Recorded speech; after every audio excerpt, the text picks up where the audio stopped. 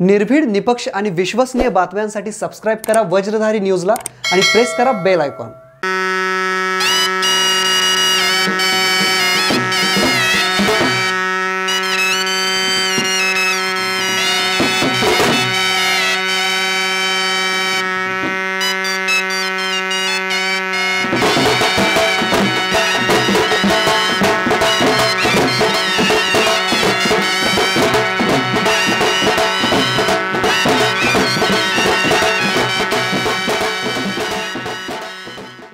सनईचा गोड सूर वाजवणाऱ्या कलाकारांचे आयुष्य झाले भेसूर.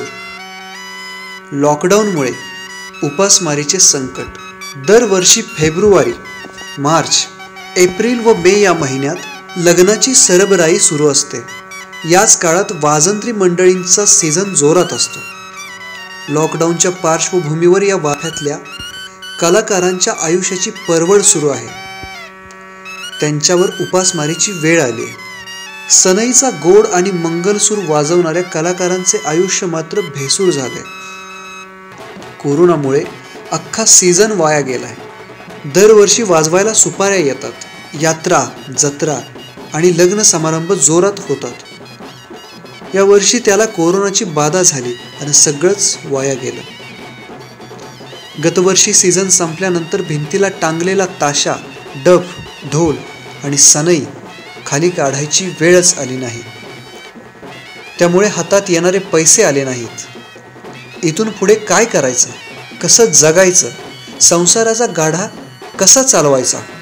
हा प्रश्न गंभीर आहे. दरवर्षी प्रत्येकाचा कमीत कमी पंचवीस ते तीस हजार रुपये धंदा होतो. एका ताफ्यात साधारण आठ ते दहा लोक असतात. खास करून होलार समाजातील लोक या व्यवसायात आहेत. सांगली जिल्ह्यातील पलूस खानापूर आटपाडी आणि वाळवा तालुक्यात तर सातारा जिल्ह्यातील मान खटाव फलटण व माळशिरस तालुक्यात या समाजाचे लोक आहेत. सनई वादनाचा व्यवसाय करणारे किमान पाचशे लोक आहेत. सांगली जिल्ह्यात खानापूर तालुक्यातील कुर्ली लेंगरे घानवड साळशिंगे या गावात तर आटपाडी तालुक्यात खरसुंडी घरनिकी दिगंची आदी गावात या लोकांचे ताफे आढळतात. याच व्यवसायावर त्यांचे संसार फुलतात. लग्न समारंभात सनई ताशा ढोल आणि डफ वाजवले तरच वाजंत्र्याच्या संसारात गोडवा निर्माण होतो.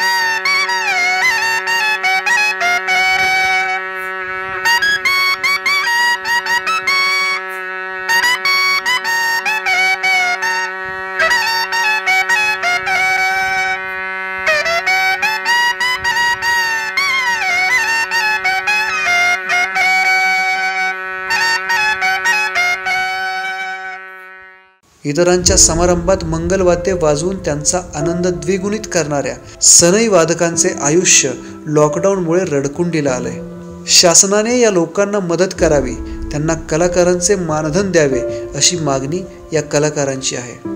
गरिबीचे आणि उपेक्षेचे चटके सोसत सोसत पिढ्यानपिढ्या कला आणि महाराष्ट्राचा सांस्कृतिक वारसा जपणाऱ्या या लोकांची परवड मायबाप सरकारने थांबवावी अशी मागणी या लोकांची आहे.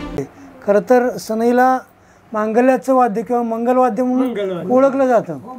आणि या कोरोनाच्या पार्श्वभूमीवर हे मंगलवाद्य किंवा हे हे जे स्वर आहेत सनईचे ह्या आपल्या कानाला गोड वाटणाऱ्या स्वरांनी किंवा सुरांनी जे तुमचे माझे कान तृप्त करतात ते सूर या सनई वादकांचं किंवा या सगळ्या वादकांचा आयुष्याचा स्वर आज बेसूर करताना दिसत आहे या दरवर्षी हा जो दोन तीन महिन्याचा कालावधी आहे तो यांचा सीझन असतो.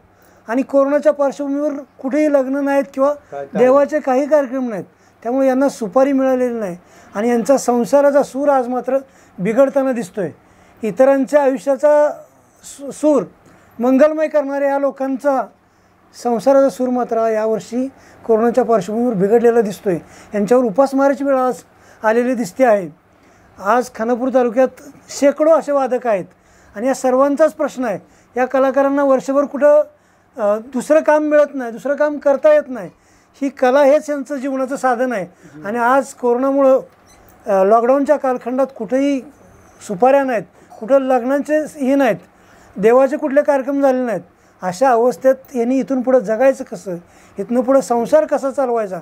हा या सगळ्या कलाकारांच्या समोर आज मोठा प्रश्न नि- निर्माण झाला आहे ही सनई आपल्याला आज या दादांच्या हातात दिसते दादा सनई तुम्ही ही सनई तुमच्या आमच्या आयुष्यात मंगल स्वर निर्माण करणारी. ह्यांच्या जीवनात मात्र आज दुःखाचं कारण झालेली दिसते आहे आपल्याला. नमस्कार. सर्वप्रथम वज्रधारी न्यूज विटा यांचं मी कौतुक करतो की आपण या सुरसनई ताप्यातील कलाकारांच्या प्रश्नासंदर्भात आपण कुर्लिया गावामध्ये आलात. खरं पाहिलं तर निसर्गानं कलेचं वाटप करताना काही दुजाभाव केलेला नाही. परंतु सरकारनं निश्चितपणानं या कलाकारांच्याकडं बघताना दुजाभाव केलेला आपल्याला पाहायला मिळतो. आज संपूर्ण देशभरामध्ये कोरोना या विषाणूमुळं जो काही प्रश्न निर्माण झालेला आहे लोकांच्या रोजगाराचा खाण्यापिण्याचा आणि त्याच्यामध्ये हे जे सुरसनईचे कलाकार आहेत की जे कलाकार त्यांची ही पारंपरिक कला जोपात जोपासत असताना आज त्यांचा जगण्याचा प्रश्न निर्माण झालेला आहे. या कलाकारांना पेन्शन मिळावी म्हणून गेले कित्येक वर्ष आम्ही महाराष्ट्र शासनाच्या दरबारी हे प्रश्न मांडतो आहे परंतु एका तालुक्यामधून फार तर एक किंवा दोन माणसाला आजपर्यंत महाराष्ट्र शासनानं त्यांची दखल घेऊन त्यांना थोडीशी पेन्शन दिलेली आहे. परंतु कलाकारांची संख्या शेकड्यामध्ये आणि एका दोघाला जर पेन्शन मिळाली तर बरेचसे कलाकार आहेत की ते असेच मरून जातील. परंतु त्यांना घर दार जमीन पैसा यातली कोणतीही गोष्ट सरकारकडून कडून मिळत नाही. शेतकऱ्यानेच फक्त आत्महत्या करायचे का? याही लोकांना आत्महत्या करू वाटत नसेल कशावरून? मग यांच्या आत्महत्येचा प्रश्न आपण पाहत बसायचा का? तर तो न पाहता आपण यांचा प्रश्न सरकार दरबारी मांडावा एवढी विनंती. मी यशवंतनाथा जावीर मुक्काम कुर्ली. माझ्या कुर्ली गावामध्ये कमीत कमी आठ ते दहा कलाकार आहेत काय? आणि आमचा सगळ्यांचा एकच ग्रुप ताप आहे काय? सनैवाद्य आणि हे जीवन म्हणजे कसं आहे? फक्त लग्नाचाच कार्यक्रम नाही तर इतर देवांचा कार्यक्रम कुठल्या इकडे इकडे का कार्यक्रम. तर यावर्षी अशी परिस्थिती झालेली आहे की एक तर या आजारपणामुळं कुठली कामं बंद झाली काय? सगळं ल- लग्नाची वगैरे कामं बंद झाली आणि जे काय आमच्यासारखे मोडकं तोडकं आहे त्यांना कुठं बाहेर बाहेर काम मिळत नाही काय? ही उप उपासमार झाली घरातले म्हणजे घरच्या आधारावर सगळं चाललं आहे आणि घरचे लोक तरी काय करणार आहेत? रोजगार करून करून रोजगार तर कुठं मिळतो काय? आणि कोण करतो रोजगार का? आणि रोजगार केला तरी ते अपराध पडतो आहे काय? तरी ह्या जेव ह्या ज्या ह्या जेवणावरती वाद वाद्यकामाच्या जीवावरती कमीत कमी आमचा अर्ध एक वर्ष तरी कंप्लीट जात होतं का? पण आता काय झालं याच्यामुळं सगळं प- ठप्प झालं आहे काय? तरी सरकारने आमची एवढी दक्षता घ्यावी त्यांच्या म ह्याच्याप्रमाणे त्यांना मानधन किंवा हे मानधन तरी किती पुरतं आहे काय काय लोकांना आता पंधराशे आणि अठराशे रुपये मानधन. तेवढं तरी मी म्हणतो आधार आला तेवढं तरी मिळतं आहे काय? पण तेवढं तरी तुम्ही द्या ना काय? काय काय लोकांचं आमच्या लोकांचं परत आलं काय तीन तीन वेळ केलं काय? ह्या म्हाताऱ्यानं तीन वेळ केलं काय ह्या म्हाताऱ्यानं दोन दोन तीन वेळ केलं. तीन वेळ माघारी आलं. कागदपत्र काय? तुमचं होत नाही म्हणून काय? आता ह्याला काय केलं पाहिजे का?